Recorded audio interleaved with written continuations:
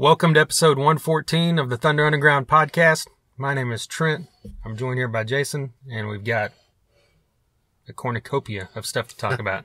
Cornucopia. Nice. Made it 113 episodes without saying that. So, So, you know, first time for everything. right. What do we want to talk about first? Well, the first thing is the the sad news. You Yeah. know, we talked about last year, like every other episode, we were talking about someone that passed away, but thankfully we hadn't had to do that that much this year. True. so far.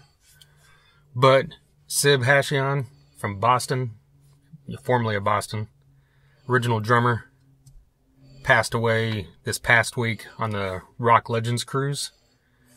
And Mid performance, yeah, which is shitty. I mean, it's shitty anyways, but that's real shitty. the way I, you know, I've seen people say this and I'll, I'll say it too. It's shitty for people watching, Yes. but I think it was Mike DiPetrillo that wrote it. He's like, look, I want to die either playing the drums or having sex. You know, so Well, there you go. You know, he True. got to do I- I obviously that. something that he he went out. His final breath was doing something he loved, which Yeah. is still you don't want to take your final breath doing anything. But there you go. I know. well, I mean, a- and uh, Sib was the drummer on probably the one of the finest rock records to ever exist. Yeah. One of the best records ever. Yeah, in the without a history of anything. Uh, so we can't not talk about it.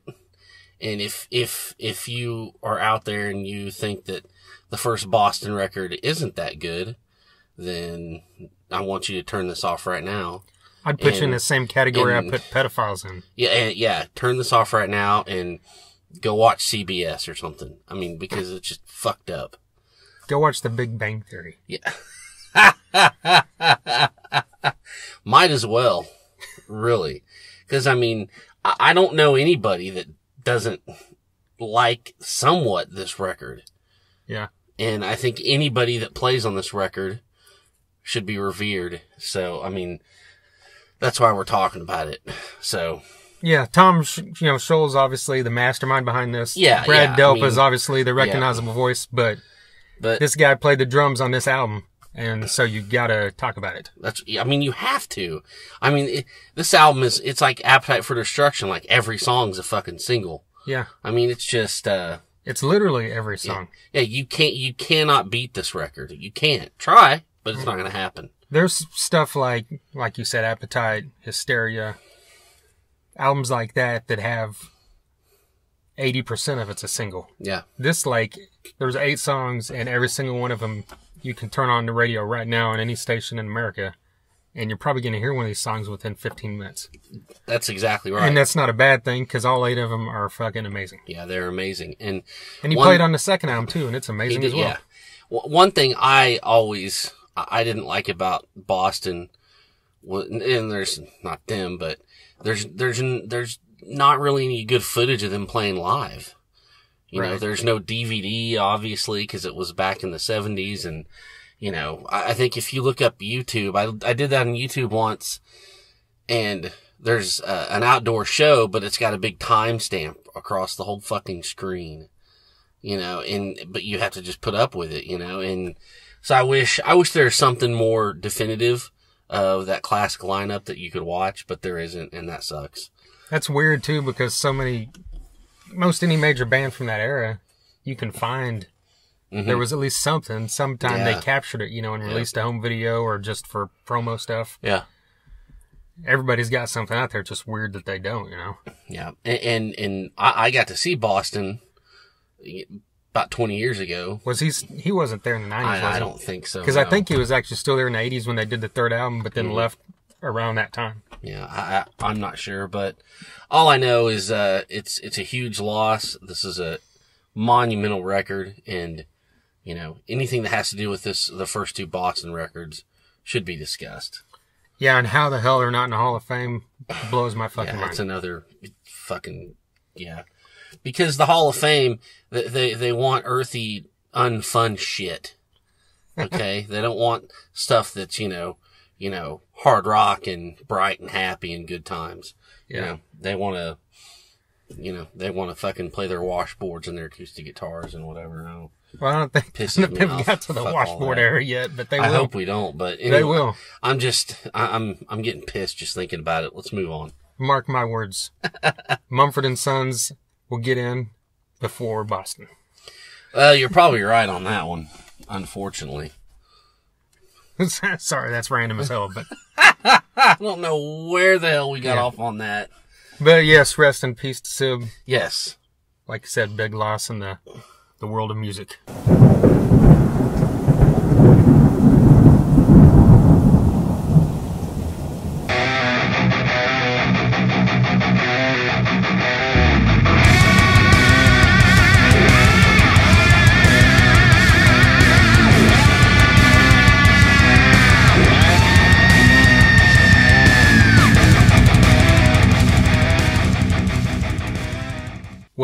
Getting into happier things, let's Yes. play some music. Yeah, definitely. We're gonna play a band called Panik Device Okay. out of Tyler, Texas. And let's just get right into this and then talk about it. Listen from Panik Device. They're out of Tyler, Texas. They're playing Rocklahoma this year on the Camp Darkside stage. Yes. Actually on a Sunday, right? Yeah, May 28th, Sunday. Yeah, I think they're playing in the afternoon, so they'll be one of the last couple bands before the the main gates open. Okay. So be over there. You have no excuse. That's right. The music never stops now at Rocklahoma for the most part. Never. You know, I mean, it'll stop from like four in the morning until what time's Nine? Christmas start? Nine. It starts at nine. yeah. So you get a few hours of break there, but someone's still cranking music loud as hell somewhere. So really not. That's right. That's right. But back to Panik Device. This is a great song, just a great, you know, three minute hard rock jam in your face. And, you know, I love songs like these that kind of, you know, draw from all different kinds of elements. And it's the type of hard rock song that I think people that like all different styles of rock could really grav, you know, gravitate towards. And I can't wait to see them live because I imagine they're going to be a good live band. Yeah, definitely. I mean, uh, great, great vocals, smart guitar. I can't wait to see these guys live. It's going to be good. Yeah, like we said, May 28th, Camp Darkside, the Darkside stage there in GA. We're going to be playing more of these bands, you know, in the coming next couple months leading up to Rocklahoma, Yeah. You know, to help promote this stage and also Camp Jaeger and the Axis stage. You know, you'll hear music from all these bands, I believe. That's right.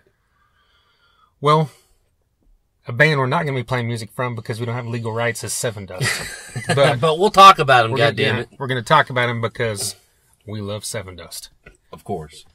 since the first moment I heard them 20 Mm-hmm. years ago now, Yeah. I've been a fanboy, That's right. admittedly, and it's hasn't stopped yet. and the reason we're talking about it is because last week, I believe it was St. Patrick's Day, May March 17th, Mhm. in their hometown of Atlanta, they did their 20th anniversary show where they played the debut album in its entirety. Yeah. and then of course you know a few other songs after the album but we both took the time to to watch this on youtube you know someone in attendance filmed it it was filmed from the front first row or right up on the barrier so Yeah. so it was good quality looked good and even sounded good because that's my thing about sometimes you watch these videos and they'll they'll either sound good and look like shit or look good and sound like shit Yeah, and this one this one had had both of them so Yeah, it sounded decent. It wasn't all. Which just makes me turn it off immediately. some people just turn this off because of that Uh, well, i'm just messing with small sacrifice to get my fucking point across. Right. but yeah, so I mean, what are, we've seen Sevendust many, many times, Yeah. and they never disappoint. So it's not like I was watching this wondering if it was going to be good. We knew we knew it was going to be good. So what? I mean, what is there anything that jumped out about it to you? Um, you know, the first well- thing is obvious. You're getting to hear some songs that Yeah. you never get to hear live. That, and that's what jumped out to me was, you know, uh, Terminator, Too Close to Hate, Speak, Prayer Prayer. Fuck, I mean, that's my favorite Sevendust song of all time. is it really? Prayer, yeah. Yes. Yeah. Um, and, you know, it's something I don't do at all. I probably should. But, you know, uh, me being non-affiliated, I don't really get, get around to that much. But the song itself is fucking great. Yeah. And, you know, the thing that I got from this, uh, other than, you know, ah, you know, we heard these songs, I haven't heard them in a while. Uh, it just really, it really took me back to that record and how important that was to me and how, you know, important that band was to me when they came out. And, you know, just glad that they are still around and not a lot of bands from that era are still around. And, you know, maybe some bands from that era shouldn't still be around. But Sevendust should, and they've, they've held strong and, uh, they've weathered all the changes and they're still relevant. And, um, so I think it was, it was great that they went back and, you know, kind of tipped their cap to this album. It's a great record. Uh, brought back a lot of memories and, uh, it, it, was, it was just great to see it and it made me feel really old, but that's a whole other Right. discussion. Yeah. Yeah, that does make you feel old. I mean, 20 years. yeah. Sevendust has been around for 20 years. You know, I when mean, you, yeah, you when talk we were about kids, the Beatles had been around for 20 years. I mean, fucking think about it. It's Yeah. just fucked. Yeah, it makes sense when you talk about older bands being Yeah. around for a long time, but when you talk about Sevendust, you don't feel like it should be 20 years. But, I know. but yeah, I think that they've lasted this whole time, never going away, staying steady because, well, first off, they were better than most everybody from that era. Oh, yeah. I mean, They- big time. They got lumped into new metal, you Mm-hmm. know, which I can see at times, but, you know, they really didn't sound like a new metal band, so to speak. No, they just sounded more just, you know, heavy metal or just hard rock. Yeah. Maybe just more of a groove. Um, but, you know, they never had a fucking DJ. They never had a fucking rapper.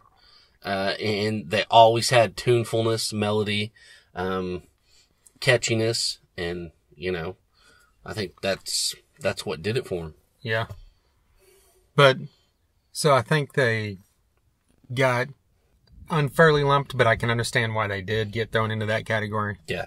But when you look at bands like say look at way before new metal when you look at like you know the 80s rock glam era. hmm You had a band like Tesla who unfairly kind of got lumped into that category, you know, but sure they were part of the times. Yeah. They had hits, so it makes sense that they're part of that category. but they transcended it as well, and they stayed around because they just never really swayed from what they were doing, That's right. and it fit the It- times no matter what time it was. The same way Sevendust does. And it's it's fucking crazy you just said that. I mean, it really is because earlier I'm thinking about we're getting ready to do this. What do I want to say? And I thought that same exact thing. I mean, they're the they're they're kind of like Tesla was. I mean, you could yeah maybe kind of lump them in there, but not really.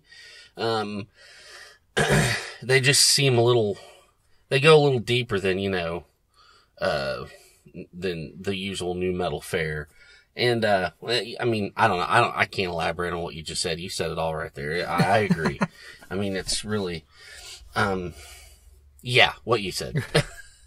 Well, hey, you remember at Rocklahoma a few years ago, whenever they started playing modern day Yeah. cowboy. yeah Tesla was headlining that night, and Yeah. Sevendust was playing a few bands before him, and they said, you know. Lajon started talking about how it was an honor to be playing before Tesla. They all grew up fans. So I thought that Yeah. was kind of cool hearing a band that you don't hear and think that relate the two at all. Yeah, And then, yeah, they started playing yeah. It's some like bars when, from modern day cowboy. I know. It's like when Billy Corgan was on the cover of Guitar World with Eddie Van Halen. right. Where the where the fuck did that come from? right. Well, one, one thing I thought was cool about this concert when you watch it was that a lot of times, you know, the shows I've been to are bands playing an album in its entirety or the ones I've watched on video. Usually they kick into it and just like pound through this album. hmm Like, you know, here's the album, here's how it sounded, whatever. But they did it like a show and Lajon's talking between every song and Yeah. talking about the next song, co- Yeah. kind of like, you know, a storytellers or something Yeah, most where, of the time. where they were at when the song was happening and all that kind of stuff.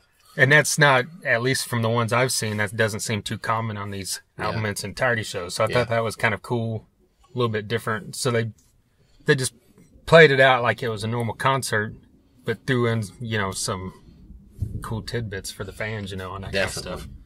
Well, you know, let's hope they're around for another twenty years. Oh yeah. You know, You know, they, they will be. I think what they've had, how many albums do they have now? Uh, I don't know, Like 10? I, I've I've told you they're they're kind of like the Ramones or the Motorhead.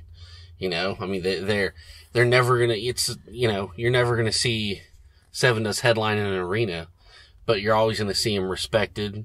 You're always gonna see them working, and you're always gonna see them fill uh, decent sized venues. Yeah. and uh, I think that's pretty that's pretty uh pretty admirable and uh, pretty respect respectable. Yeah. And they all seem like, you know, good dudes from what I Yeah, That, yeah. Hey, we met Lajon when it, We 20 did. years ago. Twenty years ago, we did. Right when they first came out, you know, it was like we went to the Roar tour, if anyone remembers this thing. And it was, no one's gonna remember Yeah. it. Me and you. That's it. there might be someone listening to Far Off Land that went to this in another town. Well, Justin went to it, right? Yeah, But yeah. it was headlined by Iggy Pop, but Iggy Pop didn't play the Tulsa stop. hmm And it had Reverend Horton Heat and Sponge and the Bloodhound Gang. The Nixons, Yeah. um, Sevendust. God, who else? I don't know. I don't know, but then Sevendust was pretty early in the bill because they were brand new. Yes. And I just, I remember that I was most excited about them. Even, you know, at that point, I was a big fan of the Nixons and even the Yes, Bloodhound Gang. That's and, right. you know, but I was just so excited because I'd got that CD and just absolutely loved it. And it lived up to everything I hoped it'd be that Yeah, day, it too. was, yeah, it was insane. Like, I still remember the first time I heard Sevendust was I heard Bitch on the radio Yeah. on Z104.5, like super late at night. That that show they used to have called like Into the Pit or something, Yeah. and Okay. they played it. and I'm like, man, I don't know if I even heard him say who it was. Like I came in, or they, I think it started, and then he talked about it afterwards, mm-hmm. and I had no idea who it was, and I was just listening to it. and I'm like, man, this guy sounds like Whitfield Crane. This can't be Whitfield Crane. There's no way he would be on the radio right now. This would be too amazing. Yeah. And then once he started, it got to the heavy part. I'm like, no, that's not Whitfield Crane. But anyway, I just, you mentioned melodic earlier. That's one thing that always jumped out. And plus, Lajon's just one of the best singers in rock yeah, and roll. he is. Oh, definitely. I, you know, I think if I can remember correctly, I could be way off here, but it seems like the first time I remember him, hearing him, was uh, late at night on KMOD, and uh, they played "Born to Die" on the metal show. Oh, really? And I, I, I, you, you'd think it would be one of those singles like "Bitch" or "Black," but I don't know why that seems. It was. We were in Thrasher's car. I don't know. Maybe not, but that's from my foggy memory. That's the first thing I remember about those guys. So Yeah. there you go. And that song is insane. That's probably their heaviest song they've ever done. I think that was on a soundtrack, so maybe it was played. Yeah, could be. Yeah. Yeah, I mean, just this whole band, you know, and they've stuck together this whole time. That's the other great thing. And Morgan Rose back there doing vocals and drums. Yeah, It's and perfect he's timing. Such an amazing. unorthodox drummer. Yeah. I mean, you know, he, he does things so outside of the box. It's great. Yeah. But yeah, just get on YouTube, look this thing up. You know, it's if you like that first album, which I can't imagine. I don't know why you wouldn't. Yeah. If you like Sevendust or if you like heavy metal, there you go. Look it up. And I can't wait to hear the next album because Kill the Flaw was fan fucking tastic. Yes, it was. It's going to be a good one. Yeah. Well, let's play some more music while we're while we're going here. Why not? Play some. We're talking about new metal. This band's got some new metal tendencies. Crane Technique, out of Joplin, Missouri. Joplin Mo. Hell yeah. We're gonna play the song called Pills.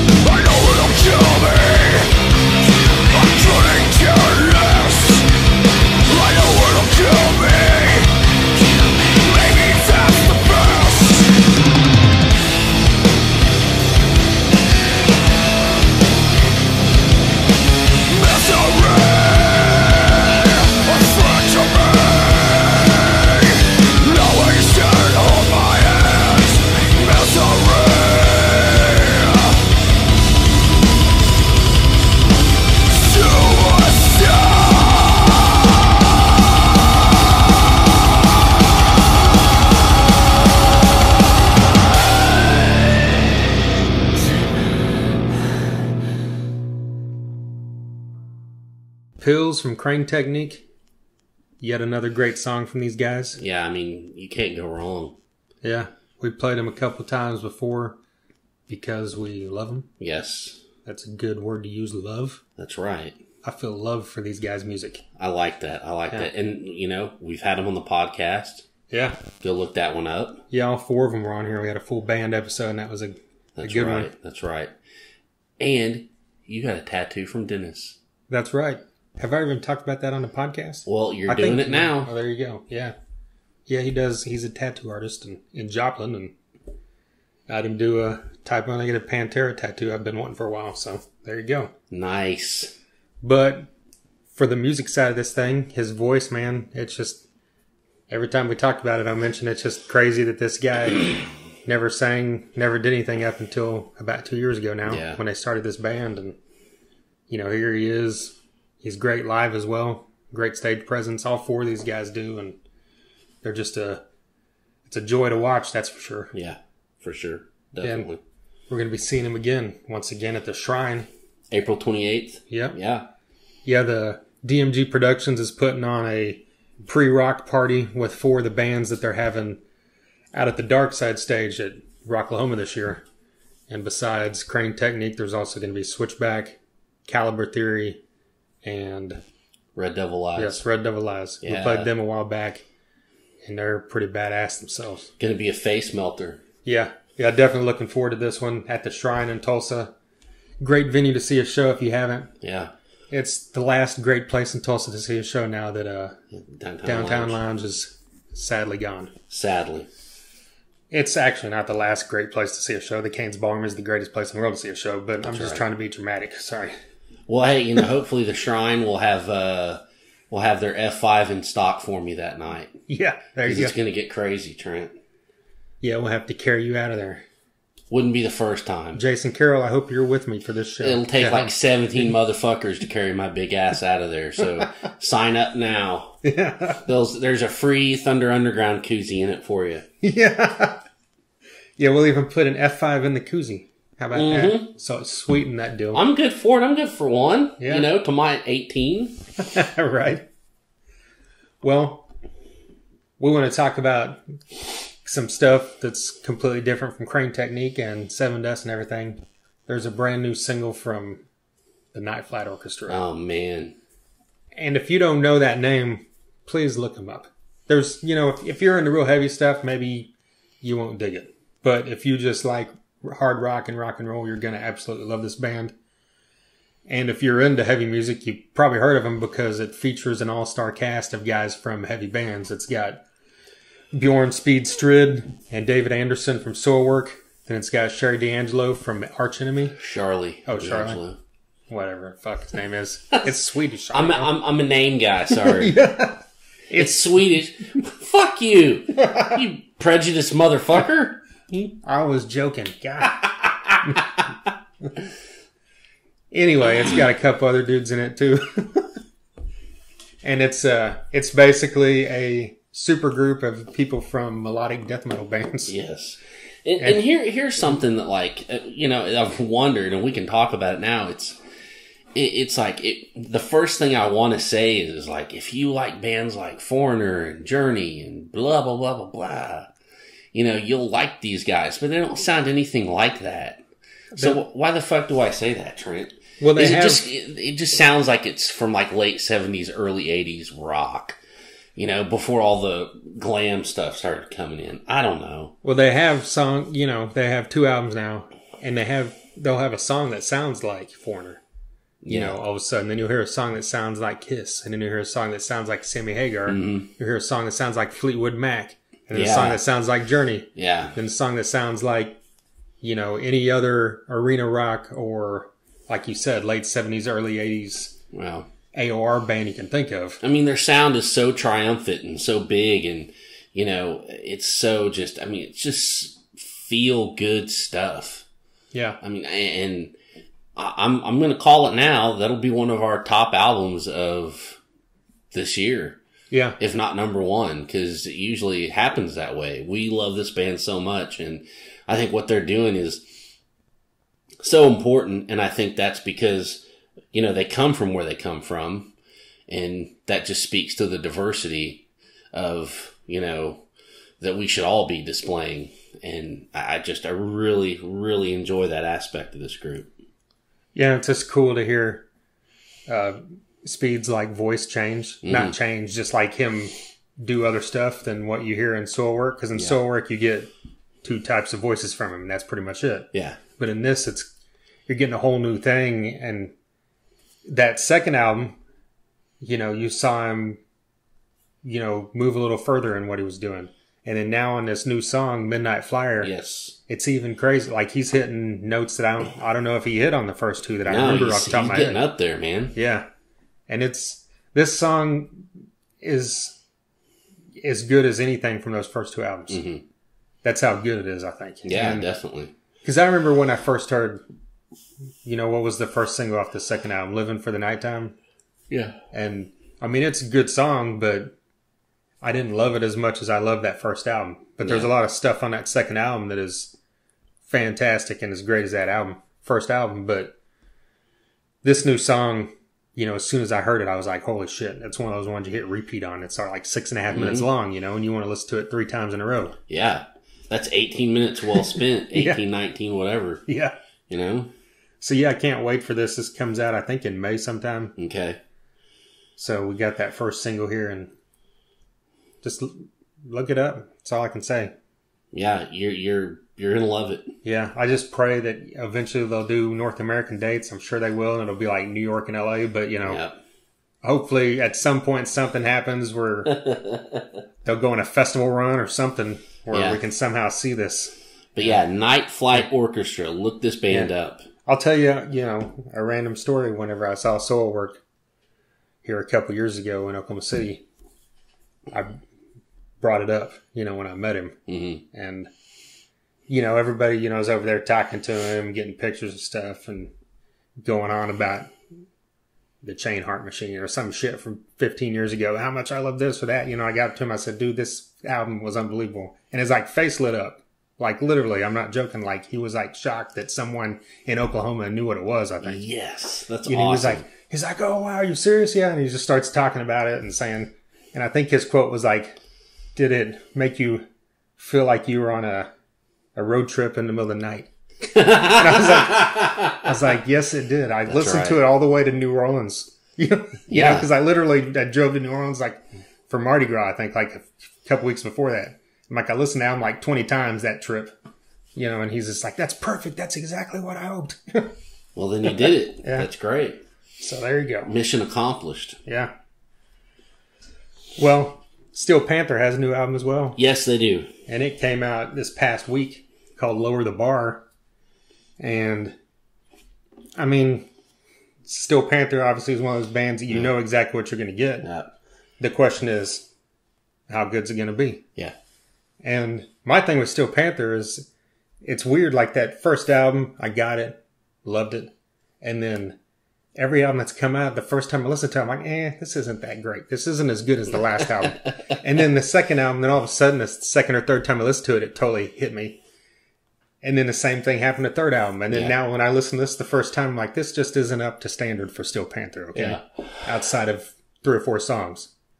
But then I listened to it a second and third time and And it all just kind of came yeah. together. You know, Well, I, you know, Steel Panther. It, it's uh, to me they're all good because you're always going to get you know sweet fucking jams that remind you of like 1988, yeah, and then you know you're going to laugh on top of it because I mean that's that's their thing, yeah, you know.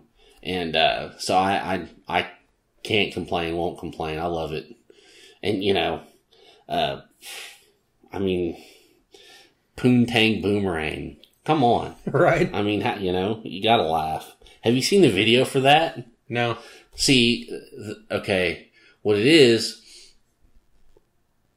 he's got a, a pet kitten named Poontang. Okay, and, you know, and when the, the woman comes in that's the Poontang boomerang that keeps coming back, you know, he can't get rid of her.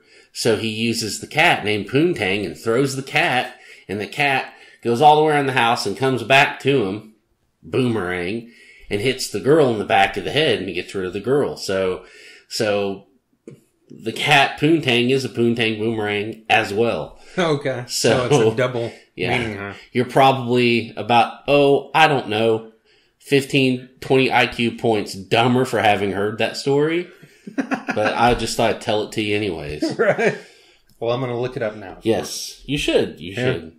You'll lose even more IQ points, but that's great. Right. It, you know, keep it simple, stupid. This stuff is hilarious. Yeah. Well, the one thing that they've always excelled at is their ballads Yeah. because they craft them like exactly like. I think you know they model them after certain songs from the '80s and Yeah. early '90s, and then you know because I hear stuff that reminds me of some bands sometimes, and but besides them being hilarious, they're just like perfect. I'm like, if if this song came out in 1989 and it obviously was censored or Yeah. had different lyrics, this Yeah. would be like a number one single on the radio. And that's where you came in as another one of those songs. It's just like a perfect ballad, just like If You Really, Really Love Me or Yeah. yep. Community Property or Bukkake Tears or anything, you know? but, and then I said Bukaki on the podcast, so you're laughing? Okay. Oh, fucking shit. But then wasted too much time That's the one we need Yeah. to talk about. it starts out sounding like Def Leppard, you Yeah. know, like a Def Leppard, you know, mid tempo groove laden rocker. Ode to your friend Jerry Miller. And uh and then it goes into you know, this awesome thing and the chorus, you know, of course sounds just like a power ballad. Yeah. Well, it's it's so fucking catchy. I mean, Yeah. it's so catchy, and it's got that whole guitar melody thing going on. I mean, it's a it's a perfectly crafted song. Uh, it's that that that wasn't an accident. Yeah, it's the second best song on the album without Yeah. a doubt. I can say that because the first best song's a cover because you can't, She's tight, you yeah. can't fucking top that. Yeah, yeah. You know, as far as being the best hard song. to top cheap trick. Right. But yeah, I mean, even speaking of that, you know, we had already heard that because they'd released it several months ago. Mm-hmm.